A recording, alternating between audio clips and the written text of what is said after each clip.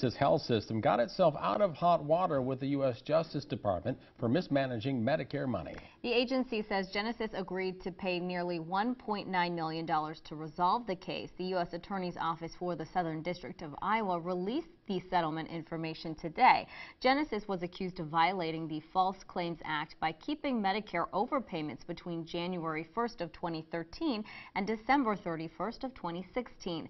Federal prosecutors say the hospital was billing the government higher inpatient rates for people who were actually outpatients. That should have been a lower rate. It's tonight's top story. Local 4's Tahera Rahman joins us live from the Genesis campus in Davenport. Tahera, what are the hospital administration saying tonight? Jim, Tiffany, Genesis Health officials didn't want to speak to us on camera today, but here is a breakdown of what they're telling us right now.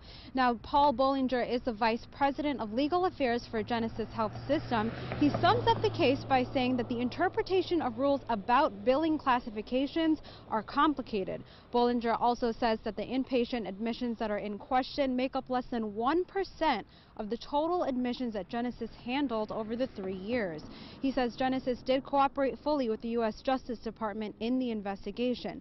Now, although Genesis is settling these claims, the payment is not necessarily an admission of guilt or wrongdoing. Paul Bollinger also says that throughout this process, patient care and safety were never at risk.